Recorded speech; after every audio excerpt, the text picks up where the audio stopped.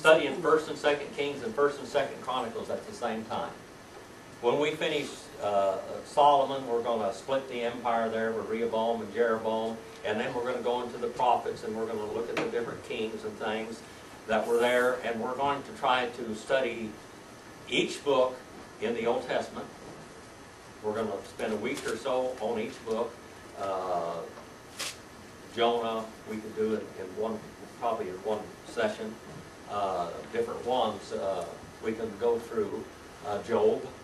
We're going to look at the Psalms, all of this, and we're just going to basically do a Bible survey on them. Now, that's what they do in the Bible in eight ages. It was a kind of a, an Old and New Testament survey is what it was. Now, you have, how many of you have the, the book I wrote, Old and New Testament Survey? Nobody? Okay, well, we did, we had that here, I don't know whether we have any more over there, but I'll get some more for you. All right? And, uh, last week, we, uh, we studied where the Shekinah glory came to the temple, when Solomon built the temple, the Shekinah glory. All right? And, uh, Second Chronicles, the seventh chapter, verse, or chapter seven, Second Chronicles, the second chapter, chapter seven. It says, Now when Solomon had finished praying, fire came down from heaven and consumed the burnt offering and the sacrifices, and the glory of the Lord filled the house. Now this is a Shekinah glory. Now the word Shekinah is not found in the Bible. How many of you knew that? If you've been in my classes for a while, you, you know it. The word Shekinah is not found in the Bible. It is a, uh, a it is a word that the Jews invented to describe the presence of God. And it is a feminine word. Uh, there are two classes that I spe specifically did on the Shekinah glory. If you go to the website, uh, the stuff, the word online ministry on the sermon audio, if you put in that little sermon bar up there, if you put in Shekinah, uh, it'll bring up the two sermons. One of them was in First John and one of them was in the Bible in eight ages, probably about chapter 9 or 19 or something like that. I can't remember uh, what it was, but I go into it in depth. But basically, Shekinah is a feminine word which shows forth the, uh, the care and the nurture of God for His people. All right? And the word El Shaddai is closely related to Shekinah. Okay? El Shaddai, it means God, literally, of the breast which God is our nourisher. It, it has the, uh, the word uh, Shaddai comes from the word Shad, which means woman's breast, which a woman nurtures her child when it's born for the first uh, several months of its life, sometimes up to two years, basically. And uh, uh, it's showing God as our nurturer. And the word Shekinah is a feminine word, which shows the what we call maybe the feminine side of God, where he loves and cares for his people. Okay, that's why that the word El Shaddai. Now, El Shaddai means the all powerful, doesn't it?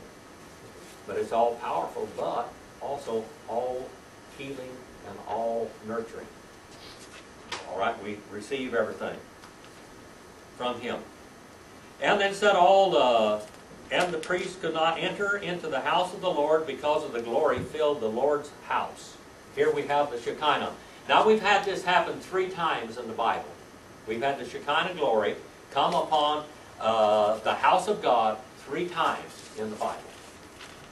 And God said it to Moses, He said, I want you to build a tabernacle so I can dwell with my people, didn't He? And when the tabernacle was finished, over here we see the tabernacle.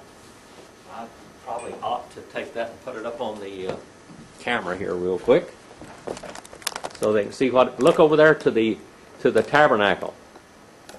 If you look up to the tabernacle, you will see that. Let me zoom this in just a little bit. You'll see that cloud over the tabernacle. You see that cloud? And in that cloud is the Shekinah glory of God. All right? That's it. Now let's see if I can get my camera set back to where it's supposed to be if it'll stay there. The old rascal's getting so worn out it wants to zoom in all the time for some reason or other. Something gets caught up and it wants to zoom in.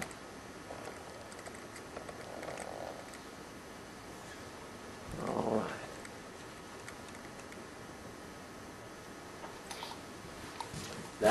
kind of glory right here. That's what it's talking about. When Moses finished the tabernacle, the Shekinah glory came down upon it, the presence of God came in there, and it said they could not minister for it. And then, in the New Testament times, we have something there in the book of Acts, but here we have it, and when God, or Solomon built the temple, the Shekinah glory came down and took possession of it. All right? And it filled the house of the Lord. And then in the New Testament period of time, in Matthew, uh, it starts off out there with Jesus going out and calling out his, his assembly there at the Sea of Galilee. He called them out. And uh, what was the first gifts placed in the church? What's the first gifts placed in the church? What was the first gift? Remember what it was? What?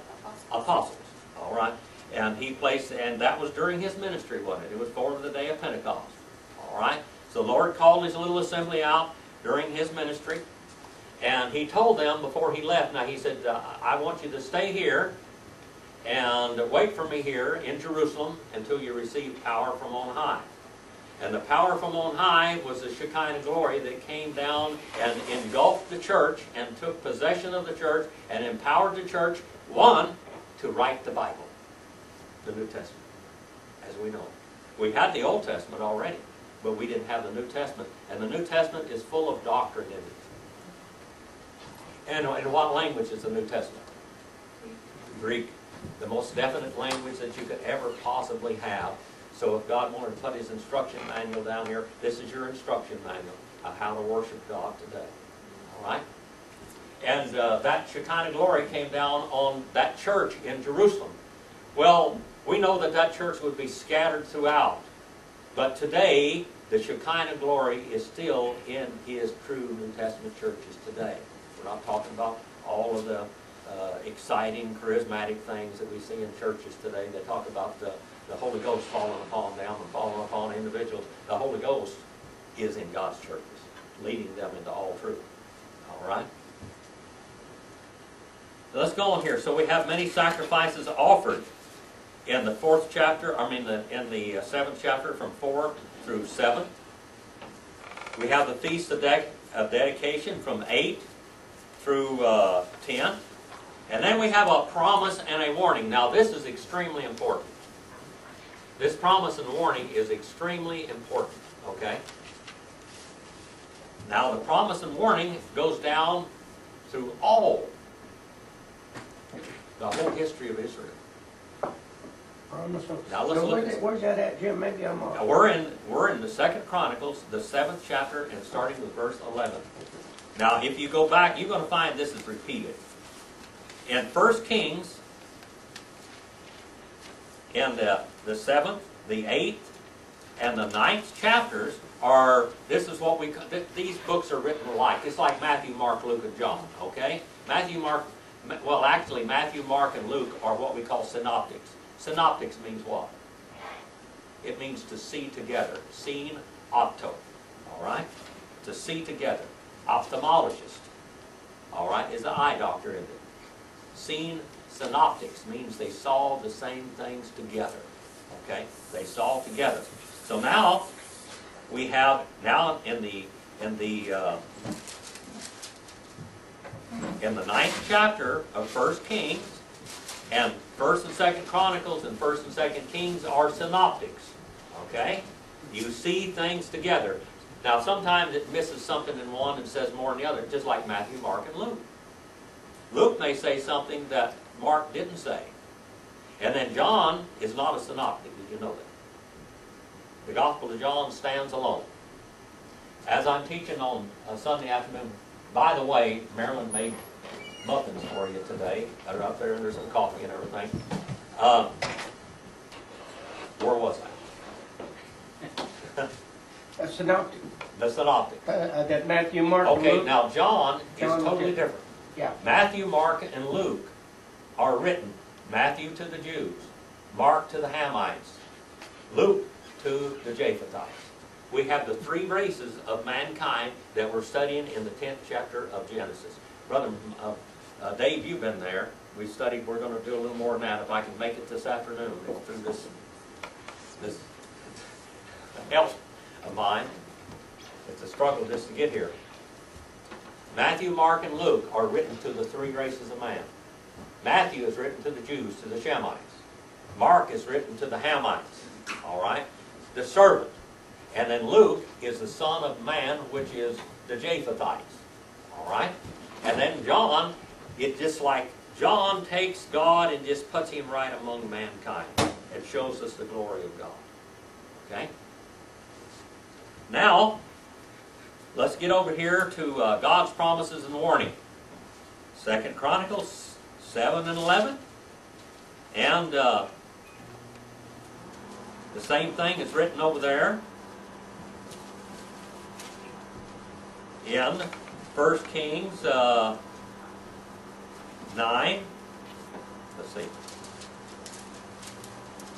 So, that's, Jim, you Uh, said 1 Kings 9, yeah. First, Second Kings and Chronicles say the same thing, but different, just Yes. like Matthew, Mark, and. Yeah, it's just like Matthew, Mark, first and second, Joshua, Judges, first and second Kings, first and second Chronicles. Basically, a lot of that is a synoptic view. So what it says in one of you, you will hear it later. And a lot of times you'll, if you're reading the whole Bible, if you went through Genesis through uh, Malachi, you would come along, you would see Joshua, Judges, First and Second Kings, and First and Second Chronicles, and they say, well, this is all saying it all over again. Yeah, it is. It's just like Matthew, Mark, and Luke. It repeats the same story. Okay? How many of you knew that? Well, Yeah, Okay, but I didn't know that the, the Kings did, so I'm Yeah, gonna read same this. thing. So that's why I'm, I'm going through this, we're going through both books, okay? All right.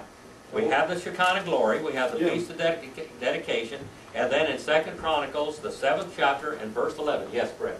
What were the books that were compared to? Matthew, Mark, Luke, and John? Matthew, Mark, Luke, and John are kind of compared to like uh, uh, Joshua, Judges, and First and Second Kings and First and Second Chronicles. First and Second Kings, that's why we're going in First Kings and Second Chronicles right now. They're saying the We're same thing, They say the same thing, it's a repeat, okay? It just tells you a little more in one than it does in the other sometimes, okay? Matthew uh, presents Jesus Christ as the Messiah King, the Jew. Mark as the servant, all right? Uh, Ham would be the servant of servants. In all reality, Ham would do probably the greatest Ham was probably the greatest blessing to the human race of all the races. Now, all three play a part, as you studied on, on uh, Sunday afternoon in the book of Genesis, 10th chapter. But Ham would, could contribute more to the human race than any other people. The Japhethites would, uh, were the intellectuals, but also in, in intellectualism, uh, sometimes it will go astray. See, Apostle Paul spoke hard against the intellectuals of his day, didn't he? And so did Jesus. Didn't he? All right? You have your high flying uh, philosophies and everything else, and I bring to you the simplicity of the gospel. All right? And then we find out here in the Old Testament, from right here, well, actually, if you go back to the flood and you come right in here to where you have the three races of mankind, from that time on here, the whole Old Testament is about the Shemites. Nothing. You don't even, I mean, it, it just mentions the Hamites and the Japhethites every now and then. But the whole Old Testament just turns from Ham and Japheth and just emphasizes the Shemites. What Shem means what in Hebrew? Brother, you're a Hebrew scholar now? Monument. monument, or name. Because through the Shemites, God would glorify His name. And who do we have in the world today are the, that are the Shemites? Well, I think, uh. Who are the Shemites? Aren't David's relative the Shemites? Well, yeah, definitely. Who are the Shemites? You need to come to Sunday afternoon, brother. Who are the Shemites? Who are the religious caretakers in the world today, the, the sons of Shem? Who are they? They're fighting all the time. Israel? Israel and the, and the Arab nations. Both of them don't think about anything but God. God promised me this. And I'll fight to the last breath and the last heartbeat. And do they? Yeah. All, you think you're ever going to whoop Israel? You think you're ever going to whoop the Muslim world? If you think you are, you're mistaken. It's gonna take the Lord to do it. You're not gonna do it, no man's gonna do it, okay? All right. The Shem, Shemites would be the Arab nations and would also be Jews. From this point in time on, the Shemites are mentioned in the Bible, and the Shemites are there. I mean, every now and then we'll mention, hello, Dr. John. Right. Got fresh made muffins up there. The Shemites will be the main theme from here on. But over here at the cross, we find Matthew, Mark, Luke, and John. Now, how does Matthew look at Jesus? What? Shem. Mark, Ham. Luke, Japheth. All right? Now, the Lord is going to turn to the Japhethites to carry out the gospel because the Jews have rejected the Messiah. The Shemites basically take a back seat now.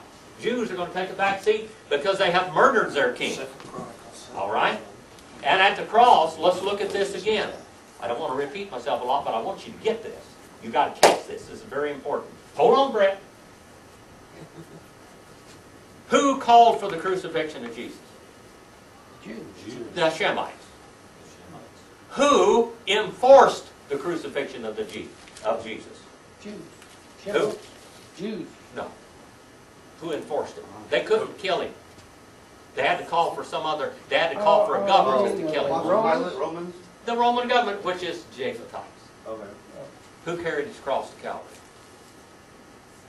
The Hamite. Amen. That's right. There you've got Ham, Ham, Shem, and Japheth right there. Now, during the church age, during the church age, the Japhethites will take over. Am I scaring you too much with The this? You getting it? Descendants, descendants of Ham, Shem, and Japheth were all involved in Jesus' death. That's right.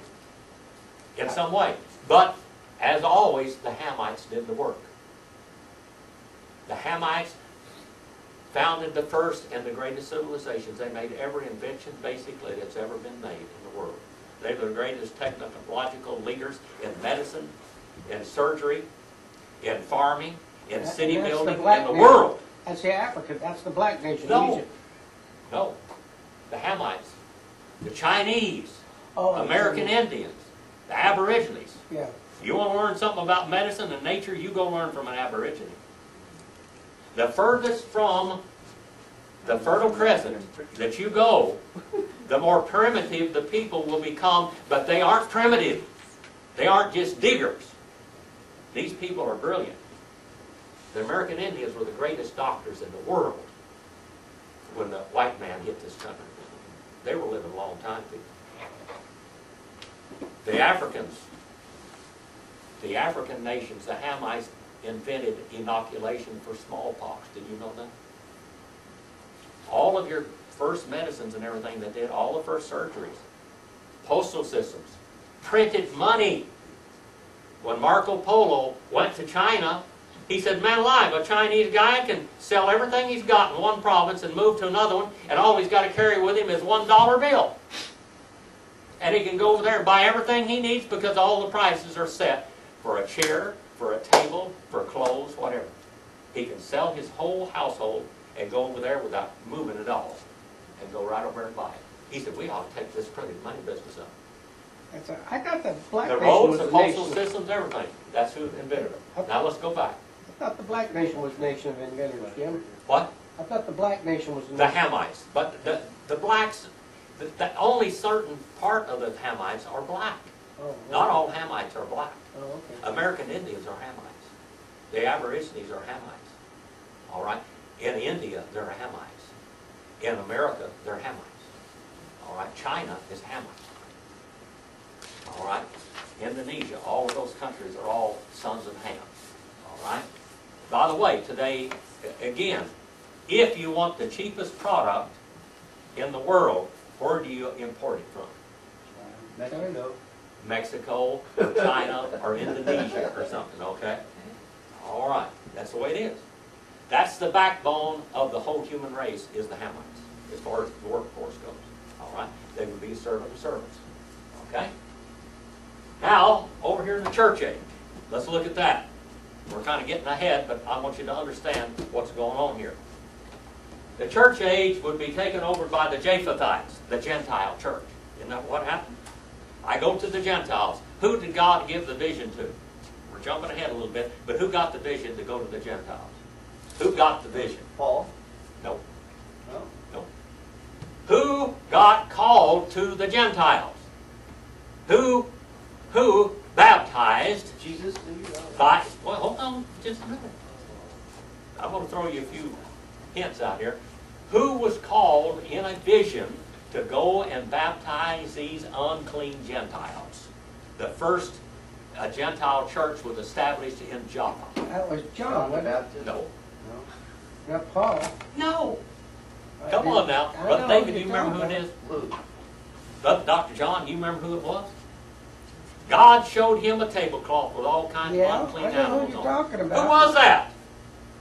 Come on. Joseph, Peter. you know who that is? Who? Peter. Peter. Thank you, young lady. You get an A Oh. plus for today. Teacher's pet. A plus. That's Peter. 'cause we run out of names. Peter. Now, by the way, Peter was a Gentile to the Jews, wasn't he? But God wanted to teach the Jews a lesson. He said, he showed him this tablecloth coming down, and he said, all kinds of unclean beasts on it, and he said, arise, slay and eat. He said, no way. Nothing unclean or, or unkosher or common ever passed my lips. He said, arise and slay. Don't you call uncommon and unclean what I have cleansed. But he's talking about the Gentiles. Now get down there at Joppa and baptize them. Gentiles. Take the church representatives with you, and that's what he did, and go down there by church authority and establish it. Baptize those people and establish a church. And that's what he did. We find out in the church age that the church will become a, uh, the Japhethites are basically capitalist, okay? And the church will become a capitalist church in the end times. And the end of that, the full fruition of that church will be what? What's the end, what's the last church age? Right now. What is it called in the book of Revelation? It's the age of what? Church age. No, it's a church. We're in church age, all right, but what is it? When the church becomes like the world and thinks it's rich. The Laodicean church age, Laos, Ikia, the two Greek words, people justice. They will do what is right in their eyes. They will justify everything that they're doing. They will rewrite the Bible and make new rules. It's not, not, not, yeah, like, not in God's eyes, but their Yeah. eyes. And then the full fruition of this government is what?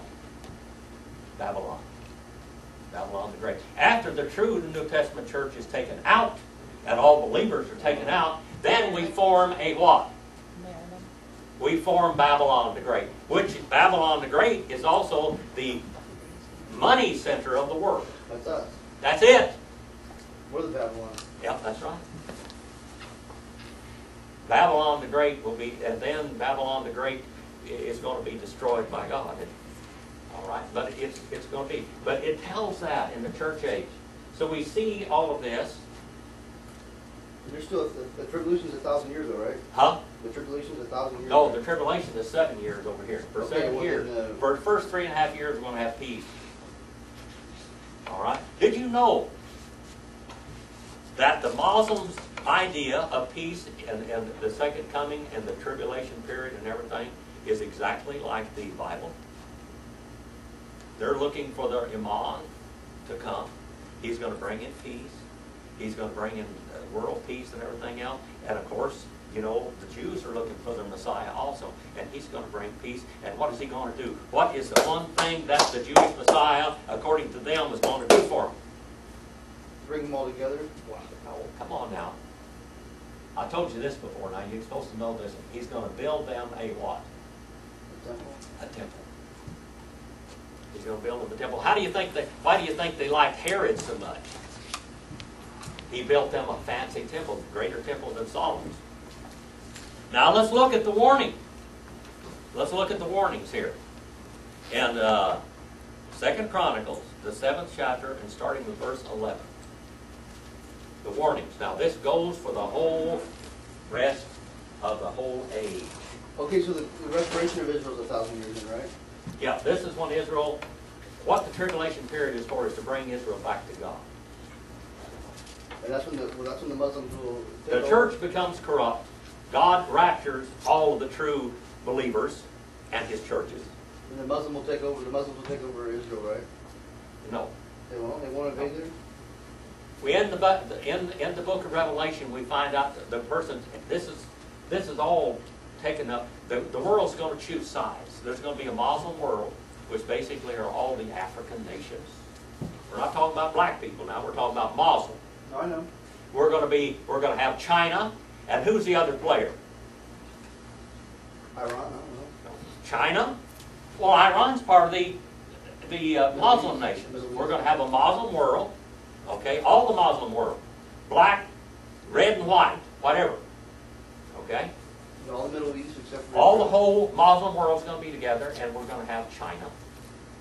And who's the other player there in this end times thing? India, right, Russia. maybe. Who? Russia. Russia, thank you, young, you got A plus now. All right, Russia.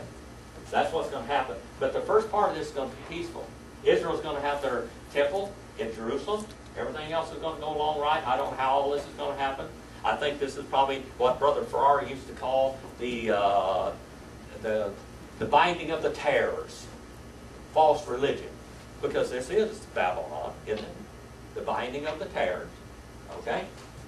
And uh, during this period of time, how do we get over here? Brett, that's it.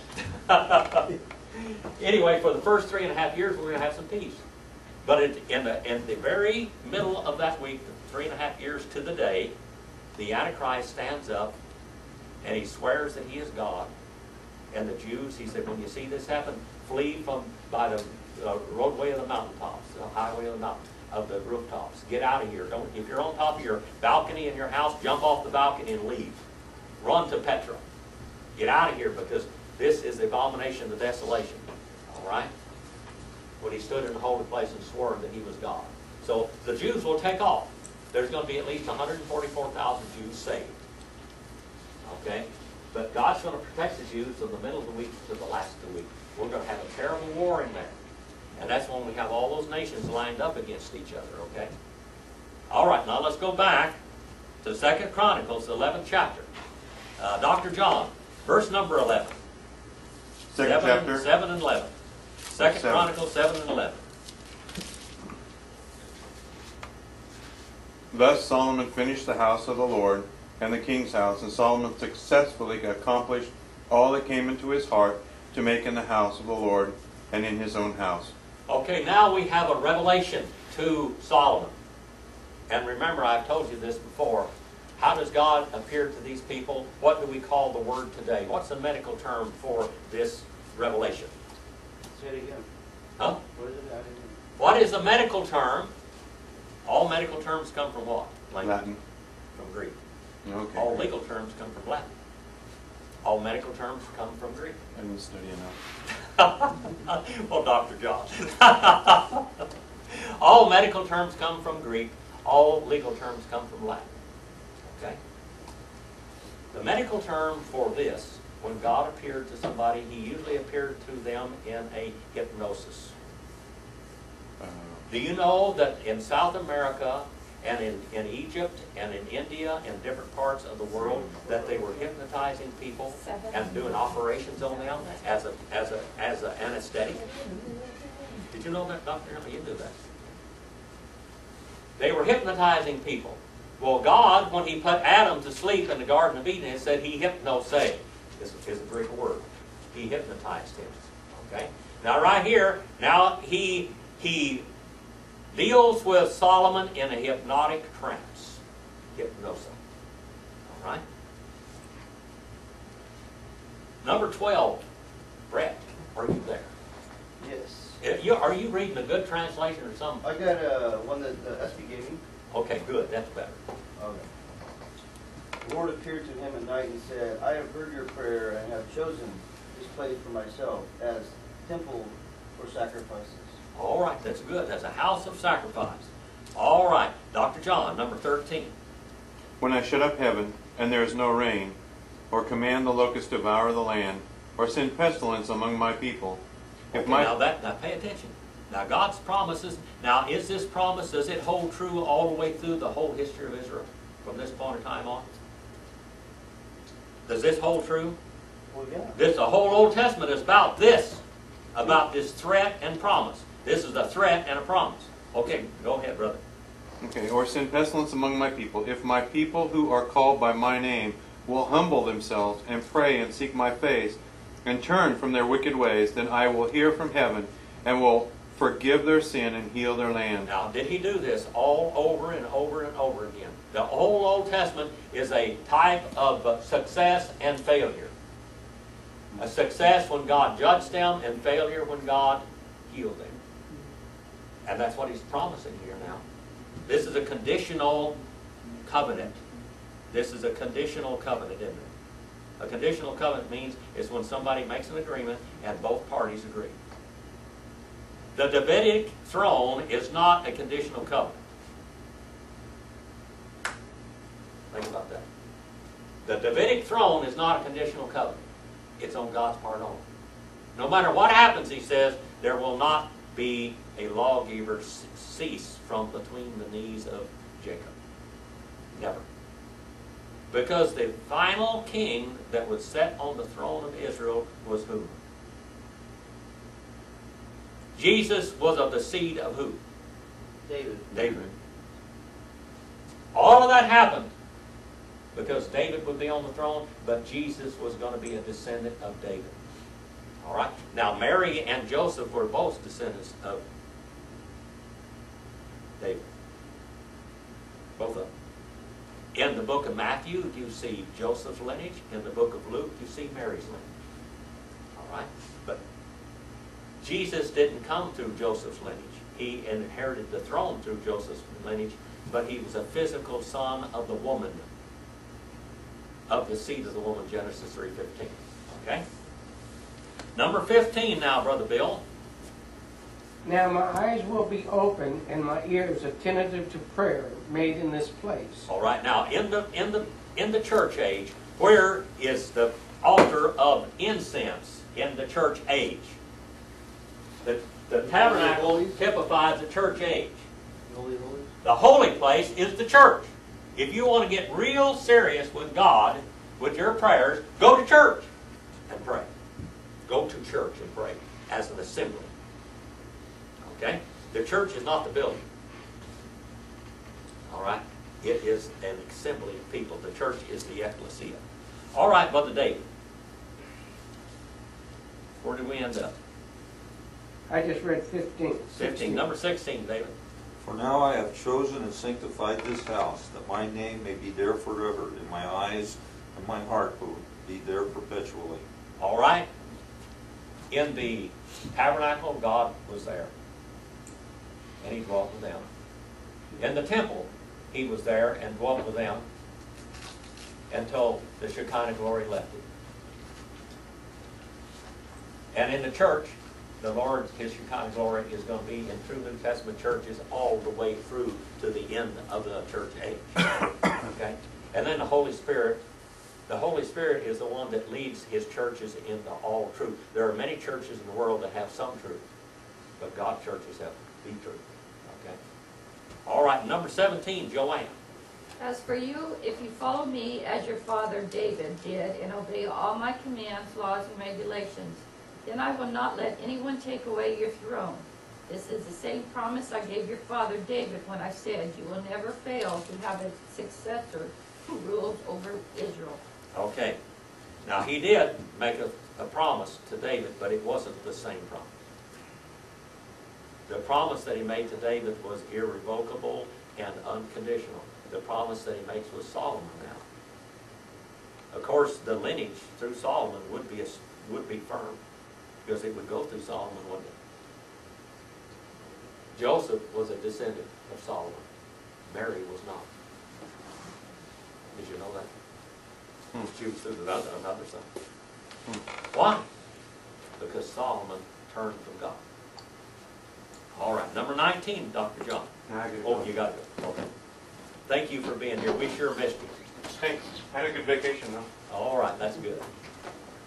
Number nineteen, Joanne, Dot, Brett, you wanna do that, But Brett? if you turn away and forsake the decrees and commands I have given you, and go off and serve other gods and worship them, I will uproot Israel from my land which I have given them, and I will reject this temple I have consecrated for my name.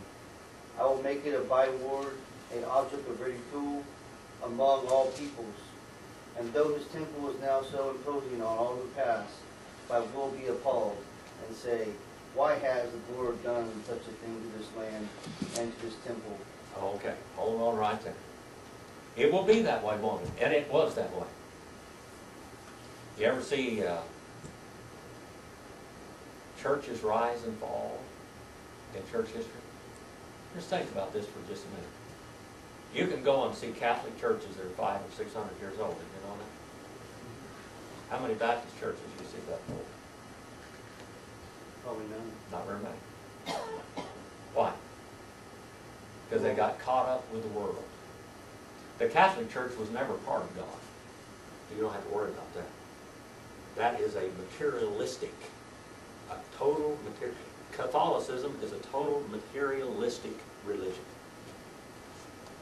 Has nothing to do with God. So the buildings will stand and they will control the people. Isn't that the way it is? Just remember, just remember. Now here we have a total Japhethetic, Japhethetic society. All right? A total Japhethetic, the total control. Brett, Why, okay, what is the Muslims, uh, taking over the Christian temple? What is, what is, how does that connect? Like, what is what are you talking about? Like, okay, the Dome of the Rock, it used to be a Christian place, right? There used to be a Christian, No, there used to be a Christian church there. at one it, time. no. Well, Jewish. there was the Zion, Mount Zion, there was a, a church. They didn't have a church there where the, the Dome of the Rock is. It was over there where Zion, on Mount Zion. You're Okay? saying it's a little farther away? Got a little further away. But they built that, what was it, about six hundred and something AD is when that thing was built. But the m- land don't mean much. But that's where they said that Solomon. That's where, And their person sacrificed, right? Is that true? what? They sacrificed, uh, Abraham sacrificed? That's supposed to be where that, uh, uh, Mohammed had a vision, Oh, okay, okay. okay? Uh, he was born in Mecca, which you're not gonna get to go there at all. You, if you wanna, if you wanna know who our greatest enemy is, it is Saudi Arabia. You go over there and you cannot live alive. You walk into Mecca, you're a dead man. Did you know that? Uh, You walk into Mecca, you're a dead man. Why? You wanna die, go to Mecca. You won't be alive, I can guarantee you that, okay? I've been into the Dome of the Rock. How many of you been in the Dome of the Rock? I've been there, I've been right there, in that area. I've been in Abraham's tomb. Now, that's a sacred place, boy, Abraham's tomb. I'll tell you, that's where Abraham, Isaac, and Jacob are buried. That's weird. That's weird when you walk into there, boy. I mean, this is something else. You can't even go there. So the Christian temple was built a little farther away? Well, it, remember what I said? The church is not a house. It's not a building. It's not a location. It is an assembly.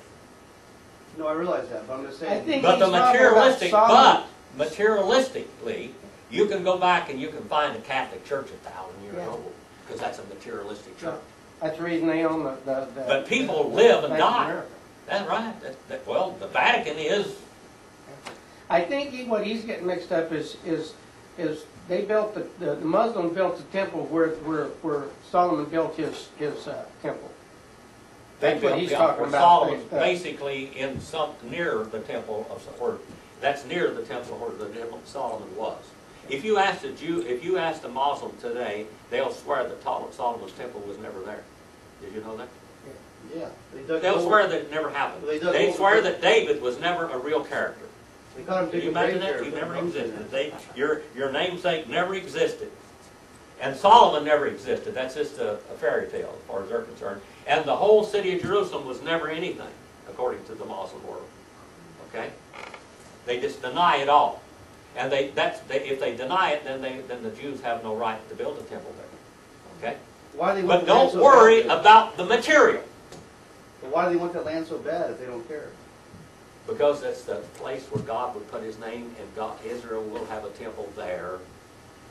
And that's where they will go during the thousand year reign. They're gonna have at least a feet, a thousand feet of tabernacle there in Jerusalem, okay, at that time. But that's where he made his temple. But who denied it? when Israel rejected their king, they lost it, people. And they ain't gonna get it back. You mean Jesus, right? Am- America's not gonna get, win it back for them. Russia couldn't do it. Nobody is gonna win that land back for them. Jesus is gonna have to give it back. Yeah, God's So- gotta give it back.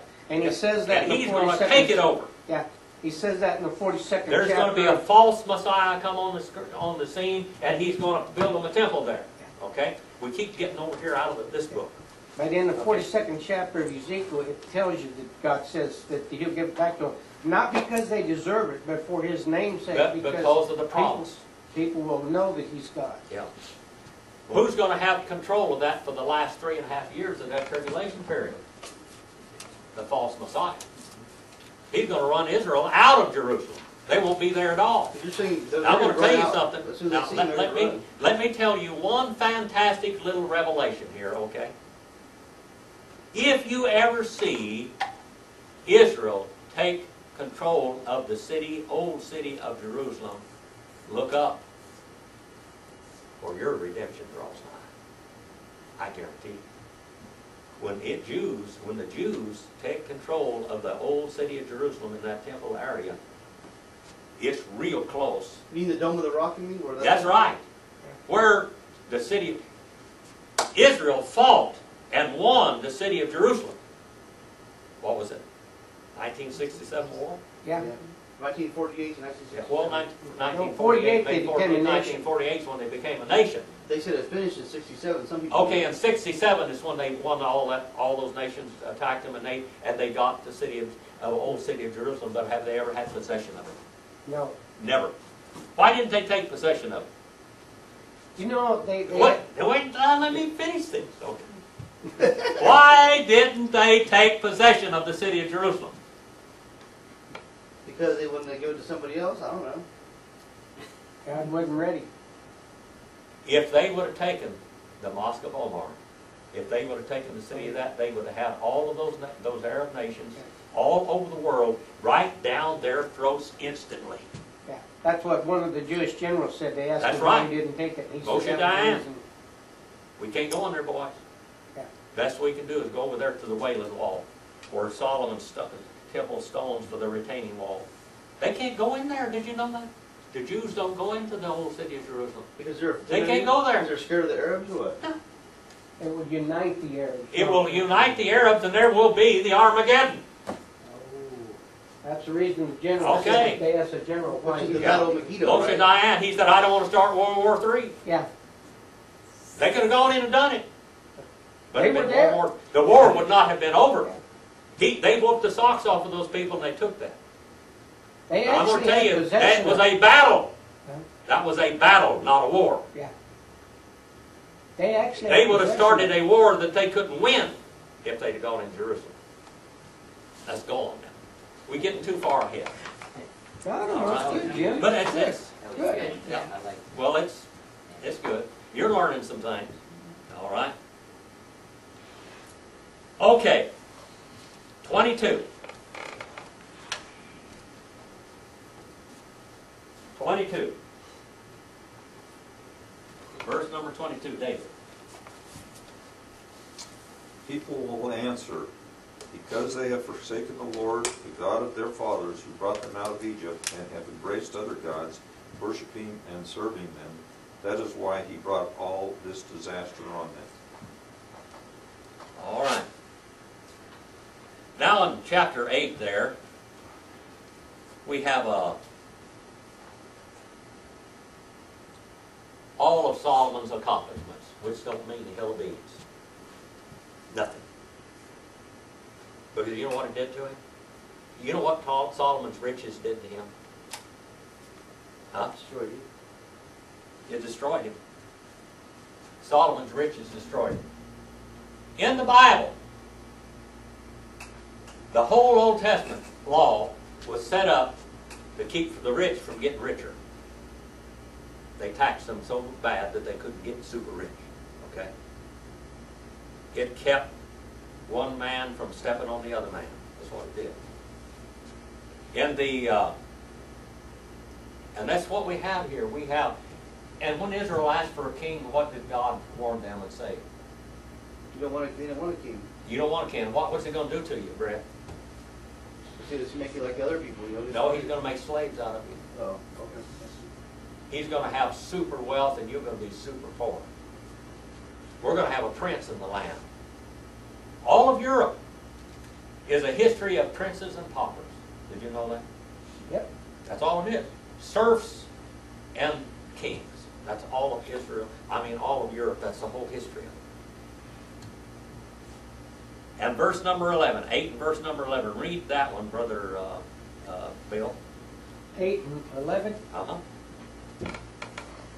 Now Solomon brought the daughter of Pharaoh up from the city of David to the house he had built for her. For he said, My wife shall not dwell in the house of David, king of Israel, because the places to which the ark of the Lord has come are holy. All right, well, he didn't want this He didn't want a Gentile there. Uh, well, she was a Hamite and a, uh, basically a, a unbeliever, so to speak.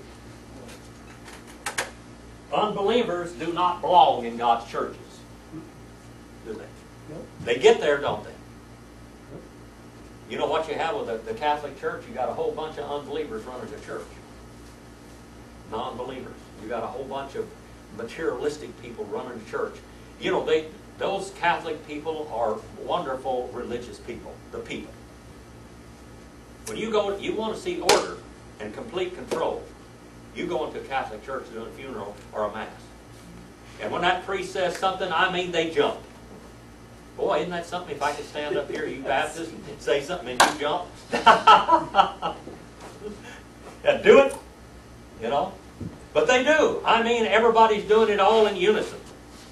Total control. It is a materialistic church. Now, these people are doing it with all their heart. They're scared. They're doing it by way of fear. The priests are doing it by way of control. All right? Now, let's go over here to chapter 9. Chapter 9. Okay? And in. Uh,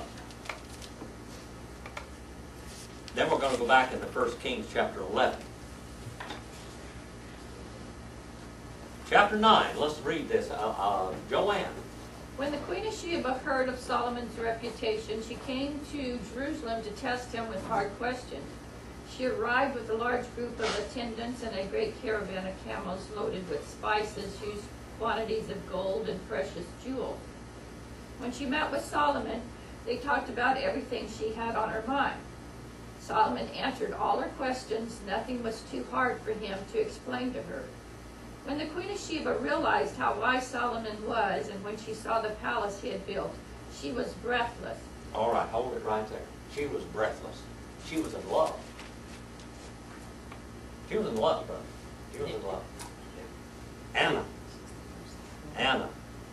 Ours number five. She was breathless.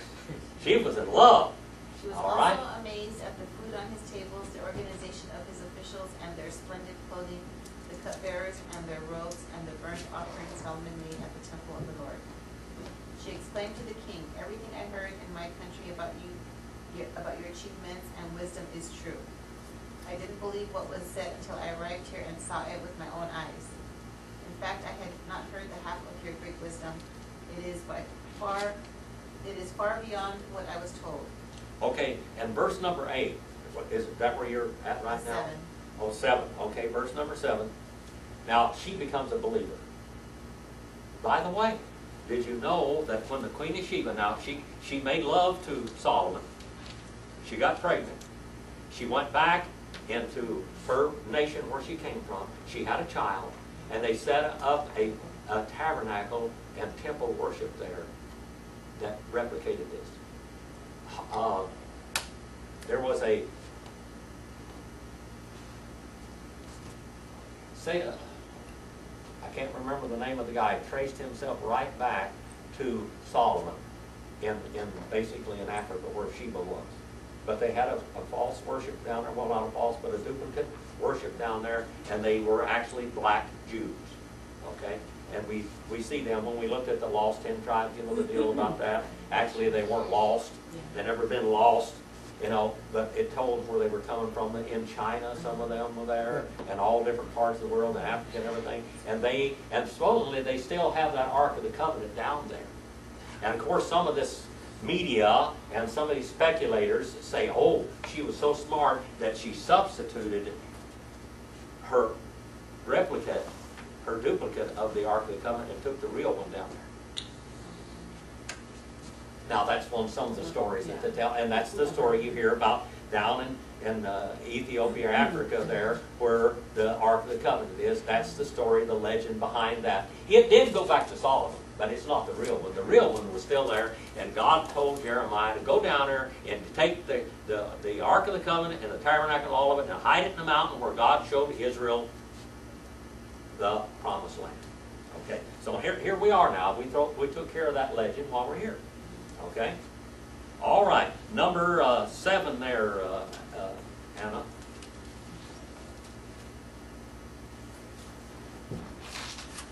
Oh, how happy your people must be. What a privilege for your officials to stand here day after day listening to your wisdom. Okay, now, the word happy there is Baruch. Blessed. How blessed are your people, Baruch? How blessed are your people? All right? Number eight.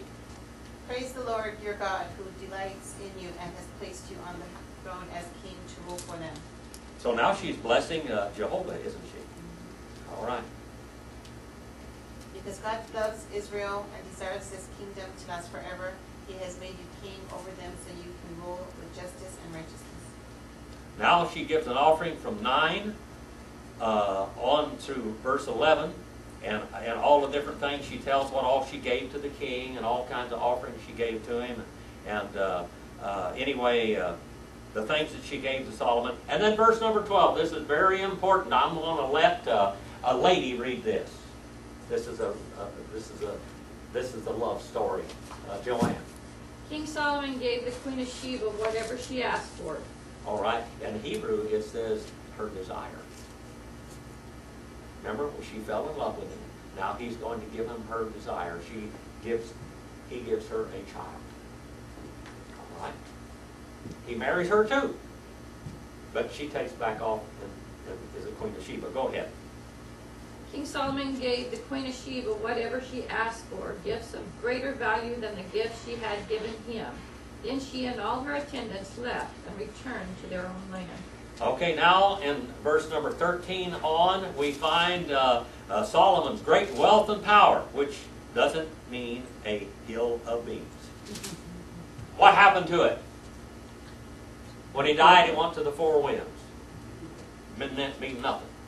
What you have in this world means nothing. What you do for the Lord means everything. Now go back to 1 Kings, the 11th chapter, Brother David. 1 Kings 11 and 1. Now we see the downfall of a great, wise man. A great, wise man. Brother David, 11 verse 1. King Solomon, however, loved many foreign women, besides Pharaoh's daughters, Moabites, Ammonites, Edomites. Now, what did he do? He loved these women. How many wives did he have? It says he had 700 wives and 300 concubines, but how many wives did he actually have? Three thousand. He had a thousand. Joseph, you want misery? I don't even want to think about it. You want misery? You have a thousand wives. I don't see any slavery. You want something to lead you away from God? You have a thousand wives. Joanne, I, you kept this man in line, in line for a long time. How many years? I don't know. 42. 42 years. pay this December. All right. Now, Bill, I'm going to tell you something. If you had 999 more, you'd have had a lot of trouble. No, I would not kill myself. What did these women do? The Edomite, the Sidonians, and the Hittite women. The Hittites basically are Chinese. Did you know that? The Hittites are Chinese. That's where they founded Cathay. All right. Number two, Brother David. They were from nations about which the Lord had told the Israelites, You must not intermarry with them, because they will surely turn your hearts after their gods. Nevertheless, Solomon held fast to them in love. Oh, he held fast to them in love. Mm-hmm. Oh, boy. Now, read it, Brother Bill. Read it and weep. Number three. I probably ball through this. And he had seven hundred wives, princesses, and three hundred concubines, and his wife turned away his heart. That's not good. That's a thousand women, a thousand wives. Every one of them now, they weren't his wives until they were consummated. He was with all of them, A thousand. a thousand of them. That's a lot of women. I, I, you know Lot of what? women. Did he did he have names for them or did he number them? I don't really remember. I, well, I, Joseph Smith couldn't remember all of his wives. He could bring bring them young. He said, "Hey, uh, uh, uh, I have trouble remembering Marilyn's name. Don't tell her that." number four now. Number four, Brett. Number four and eight? That's sec, sec, Nine. First Kings eleven and verse number four. Oh, I'm close. Okay, Joseph, are you there? Anna, are you there? Which one, number four? Anna, uh, four. In Solomon's old age, they turned his heart to worship other gods instead of being completely faithful to the Lord his God as his father, David been. All right, now there's where we're going to quit. It's time to quit today, and we're going to go right back there next week. That's where we're going to go. Now we went from a great man to a uh, a flop, didn't we? A great man to a flaw. Down the hall. It was all it was all founded upon a materialistic society, wasn't it? Democrat. You know, he built one, he built one temple to God. How many did he build to false gods? Many. Many. The temple that he built to God was what? By inspiration. The temple that he built for his wives was by lust. Have inspiration and we have lust. All right. Well, let's have a prayer and go out and do something eternal this week. And uh, Brother Bill, are you going to do this? Yeah. Okay. Uh, we got Roundup Sunday coming up. You guys don't want, don't forget that. And uh, gather all your part. We need to make a big